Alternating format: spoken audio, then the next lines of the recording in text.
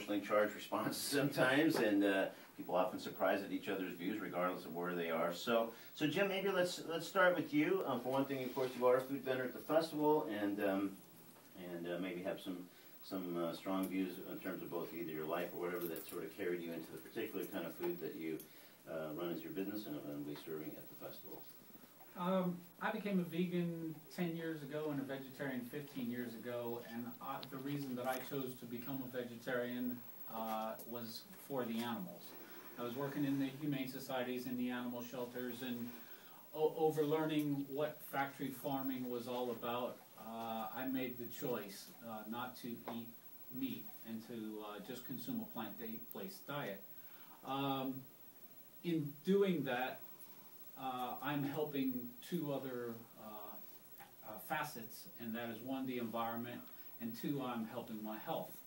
Um, so there are three reasons that people choose to become vegetarian or vegan, and no matter which uh, way is important to you or, or to any listener out there, uh, they're all intertwined. And so I'm happy when someone chooses uh, vegetarianism or is exploring it. Uh, it is a passion to me. It is important uh, now for the other reasons as well, uh, the environment and my health. Um, so when I opened my hot dog cart called Let Us Eat Healthy, uh, I'm able to go downtown and I'm able to offer a healthier option. You don't have to be vegetarian. You don't have to be a vegan. But it's certainly much more healthy to eat the food off of my cart than if you were eating a beef hot dog or beef Italian sausage or whatever. Um, so I talk to a lot of people every day. I'm pleased with the results. I get a lot of um, customers who are not vegetarian, but they're looking out for their own health. Cool. Belinda, how about you? Your views on this? Um, I'm actually not a vegetarian. Um, okay. okay. I, again, my, my mom didn't raise us with vegetables. We were raised with, in a Cuban household with steak, rice, and beans. So. Mhm. Yeah. Okay. Uh, Veronica. I have very long days, and I've noticed that if I eat fish and veggies, my energy goes really long. Um, and it's just been about the last 10 years that I've just become a huge fish and veggie person.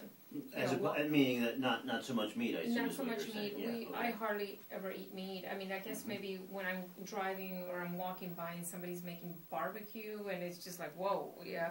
Uh, but other than that, it's really, I usually tend to go towards fish and vegetables, but I can't wait for Sunday to try one of your hot dogs. Okay. and, and Ronnie, how about you? I've been a vegetarian for about 45 years, and uh, it, it, it occurred to me uh, around the same time. Actually, I think it occurred to me sooner. I just didn't do anything about it. But I, I think it's one of the most important facets of my life, and I need to serve as some kind of example for people that I'm around. And I can't imagine that we'll ever um, do away with wars until we do away with uh, killing animals for our use. So it's all one big picture for me.